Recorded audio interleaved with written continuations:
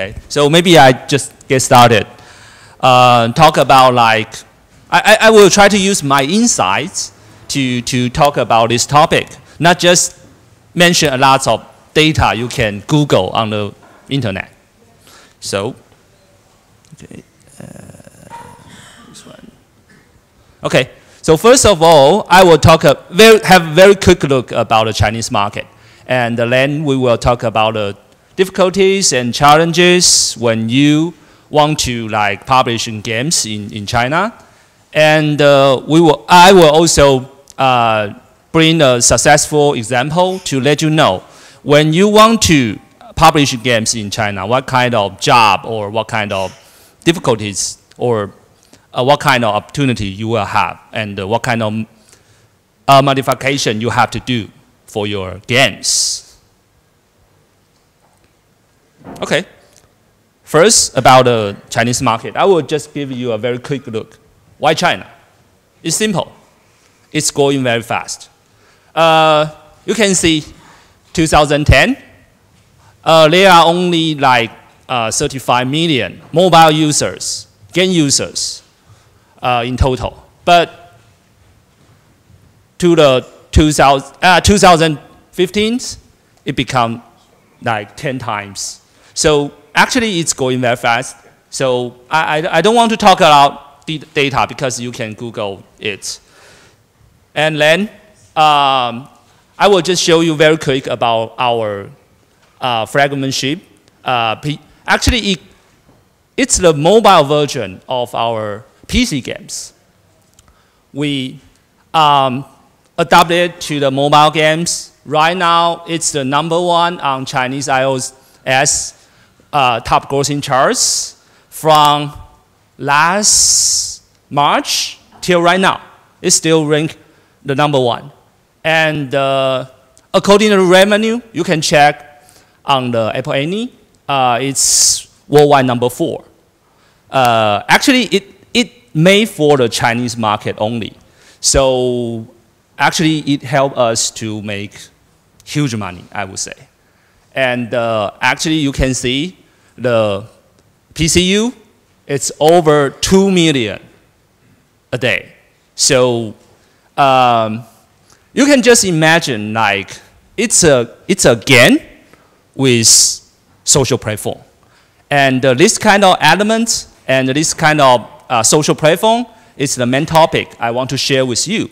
Because if you can keep your users to stay in your games like five or six hours a day, uh, then you can uh, like just imagine when, when people go into the shopping mall if they can stay in the shopping mall for a very long time. Overall, overall maybe you, you don't push them to buy something, but they still have to uh, go to a restaurant or buy some grocery, something like that. So that means you can make some money for it, although you don't have to push it very hardly. Okay, so then we, we just uh, go to the, the main topic, the to uh, dif difficulties and challenges. So I would like to give you a very quick look about what kind of like art or story Chinese players are love to play. Uh, first of all, okay, it's cute, big hat, uh, very traditional Chinese story, westward journey. Actually, right now the number one and number two uh, titles on the chart in China. Uh, both produced by uh, NetEase and uh, the same story, the same thing. And then I think I have to mention about the Clash COC, the Clash of, oh, sorry, COC, okay, so kind of mad, mess. Uh, it's so, I, I think it's the most successful Western games in China.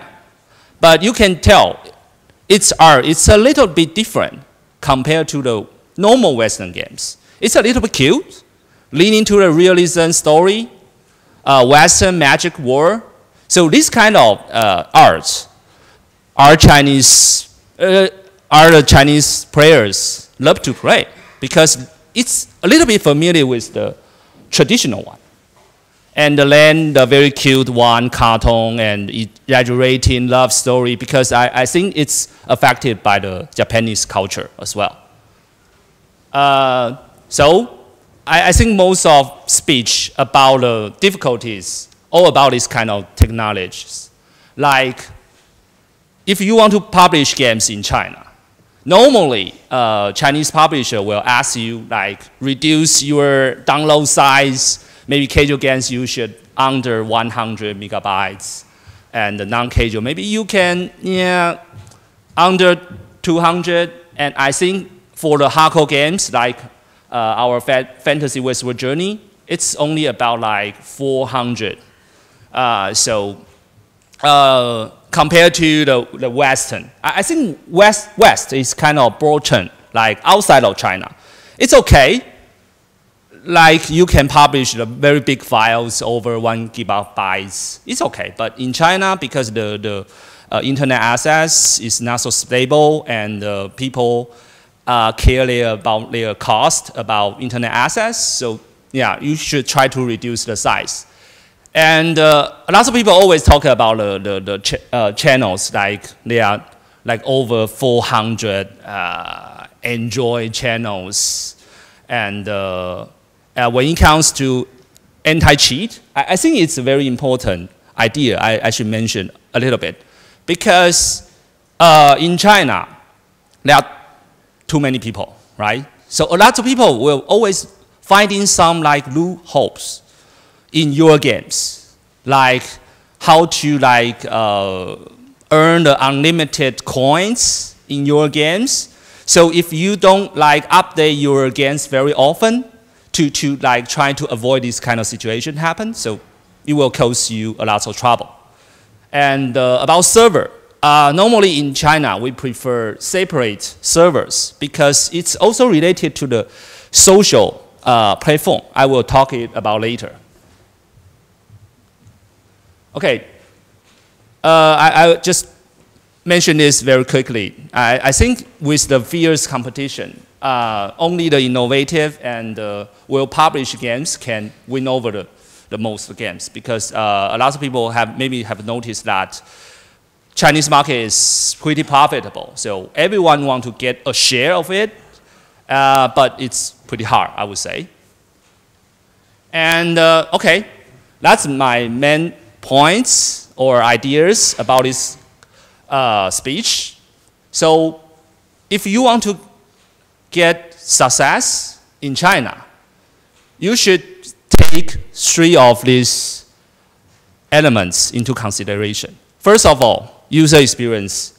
It's related to the, your gameplay, the overall uh, experience while the users play in your games. And then community. It's about a social uh, platform. And then monetization it's, it should be a very good circle to make you success in China. Okay, uh, about the innovative gameplay. Okay, uh, I, I think I, I, I, don't, I don't have to like explain too much about this topic. I, I think Western developers are very good at innovation, especially compared to the Chinese developers. So if you can bring out a very good uh, gameplay, innovative gameplay, it should be a very good step to make success in China. And then Genshin makes some financial sense. Um, like I said, monetization in, in China is very important. It's not very simple like, a lot of people always think, okay, maybe you should just uh, set up the item shops and put some items on the stores and the people will just buy it. Actually, it's kind of different. I will explain it a little bit. Uh, when it comes to monetization, you can see there are very different way to, to do it. In China, people prefer free to play because I think most of Chinese players, they grew, they grow up in um, grow up with internet access. So that means they have already used to play games before they buy it. But when they are enjoy the games, Like I said, maybe they are willing to play games uh, five or six hours a day. They are willing to pay because they want to like have better social status in the game, in the games.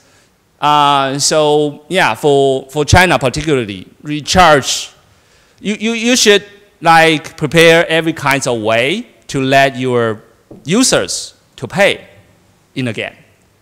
Uh, and uh, I, I, think uh, for actually they are not very popular about the premium download in, in China. So uh, for like NetEase, we try to avoid to use this kind of uh, monetization way. And uh, when it comes to the community, I, I think it's very important. Uh, for us, we think our main reason or main idea about develop new games is try to make our users can have more interaction in the game.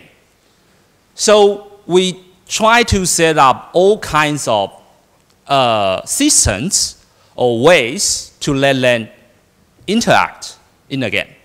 So, like growing system, if uh, players, their, their, their characters can go out very fast in the early age, then they have to interact with others. Because if they, they don't know how to play afterwards, they can find someone to help them use the social system, like friend system. They can make some new friends in the game, and they can marry, get married in the game. And also, you can find some mentor because the, the game will also provide some rewards points to the mentor. So people are willing to teach new people how to play well in the game. And also, like marriage system, if you, you, you uh, get married with someone else in the game, you can get extra like rewards, benefits, tools in the game. So you, that means you will have more, more interaction with someone else in the game. So that will give you more reasons to stay in the game, and you will you are willing to like log in every day.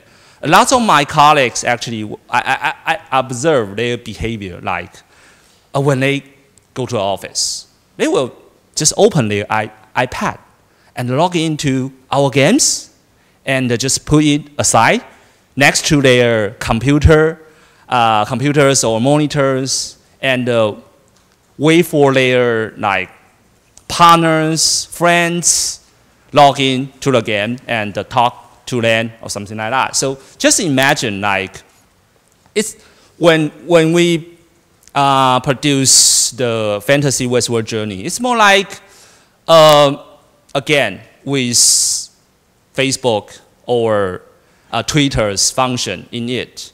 So we don't rely on the Facebook or Twitters to let our users to interact. Actually, we, we just keep them in our games to talk to each other. So I, I think the same situation about the PvP. If you want, if people can like compete with each other, that means they will have more interaction into the game. So it's more like the real world, right? So you can play the PvE and the PvP as well. And uh, if you can you, if you beat up by someone else, that means you will have more motivation to like let your characters become stronger into the games. Maybe you will find some helps from your friends or the next system like uh, guild system because a lot of people when, when they just log into the new games they want to find some help they can join this guild system. So it's a good way to arouse the players' emotion, to, to, to uh, change or get connection with other players. Uh, okay, then we move to the successful example. I will show you the World Soccer Collection S.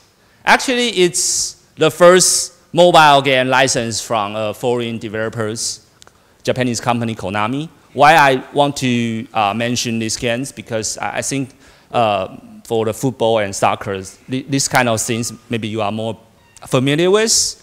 Uh, actually, it's the top uh, sports games since launch, and uh, it, it, it had ranked 11 on grossing chart and keep very stable ranking position for the past two, two years.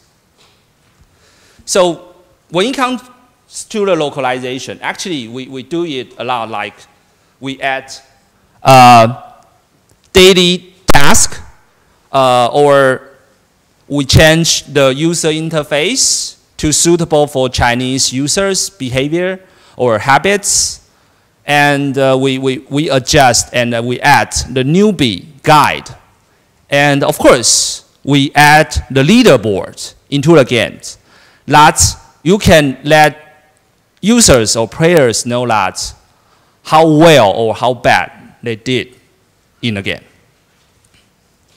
Okay, so you can see there is the full optimization of the newbie guide. Okay, so actually we, we add uh, anim animation and uh, guide into the system to let people can like more easily to understand how to play the games uh, in a very short time. Uh, and the Chinese players prefer video and images than words. And uh, we also added the seven days checkup. So check in, so people can like, they, they, they will have more motivation to check in into the game. Uh, and they can get rewards after that. So you can see these Chinese words. One day, uh, first day, second day, third day, something like that. So when you check in, you can get the different rewards. And we also add the, our wiki system into the game. So when players are confused about the terms in the games, so they can use this kind of wiki to like understand uh, what kind of system or what kind of tools uh, they have to use to, to play well into the game. And uh, we also uh, convinced the Konami to let us to, to use well-known teams and players to, to guide our users in the game. And uh, I think it's the fans' economy affects uh, prevails in China. Because actually in, in China, a lot, of, a lot of people, they don't play football or soccer, but they love to watch. So it's interesting. So, so just think about it. If you can ask or use very famous guys or players into the game to guide them so they will feel, okay, I follow my idols, my heroes to play the game. So that's a pretty good idea. So I, I just want to show like uh, our like process to update our games. So actually, like I said before, Chinese users try, try we try to avoid cheating in the game and uh, we also want to like make our users interact more into the game. So we keep add different system into our games. Like first of all, we, we add World Challenge match. match. So players can challenge in the top global teams and uh, they can become the plus uh, players. That means they will have different status on their names. And uh, we also add a new commentators to, to like broadcast the games they are playing. So we use different famous guys. So actually the users can choose which kind of to use. And uh, we also add the leaderboard matchmaking to let people know what's their like ranking on, on the game. So we also add the glassy match play. So actually, this is a pretty uh, interesting idea. Actually, are, these are two teams. Uh, different players can choose their own cars to join one team to compete uh, other teams. So that means they are uh, 10 cars, so that means there are 10 players into one team. They can play with, compete with another team. That means uh, if you want to like uh, keep the honor into your team, you should like work harder or polish or like make your cars stronger to win again, to help the, your team to win again. So I think that's pretty much what, what I want to share. So if you have any questions, please free to ask. Hello. Um, in the West, in free-to-play play games, uh, it seems that um, game designers they try to limit the time a user can play for per day, and uh, it seems that in Chinese game it's not the case at all. It's unlimited. There is no limit. Uh, yes, actually, uh, there are some limitations about, I, I think about age. If you under a certain age, you don't allow to play very long time in, in, in the games. But I, I think it's about 18. Uh, I need to check it out, but it's kind of protect uh, the protection for, for the children. So, but if you are adult, you don't have these kind of limitations. Thank you. Uh, you said in China people are concerned about their internet usage on their phones to keep the app small. How often are people actually signing in then to these games on their phone uh, at a time if they're worried about the data? Do they have you know 10 games and they just check you know a few minutes at a time, or are they connected constantly all day to one game, checking it the whole they time? They connect all the time. Okay. Yeah, some like I mentioned before, like our fantasy westward journey, because just like you, you are, just imagine you use Facebook. So they, they, they prefer just log in and uh, uh, be online and waiting for friends to talk to them and maybe ask uh, you to join uh, me uh, to, to like uh, go through the classes, something like that, or yeah, or help me, something like that. So it's so that's why people are concerned their internet uh, data. So normally they will play it under the Wi-Fi access. Yeah. A question, I had a discussion with a colleague of you very recently, and he told me that a large part of your mobile game revenues doesn't go through the official App Store store, so you try to monetize your games also directly, so you don't have to give 30% to the store. Is that true, and how does that work, if it's true? Uh, I don't think so. Okay. In, in China, uh, like, of course, um, if you want to play uh, games in iOS uh, platform, mm. you have to use the Apple Store mm. to download the, the, the, the, games. So you still have to, to yeah. use the yeah. Apple Store's payment. And then uh, we, but when it comes to the Androids, yeah.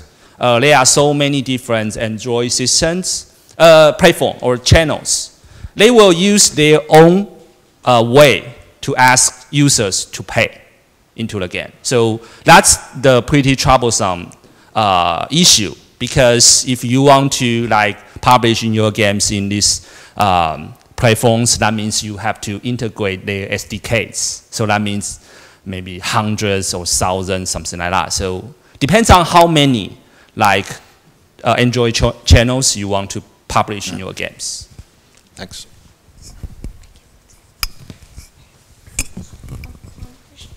Okay, I think that's it. Let's have one last round of applause. Okay, thank you.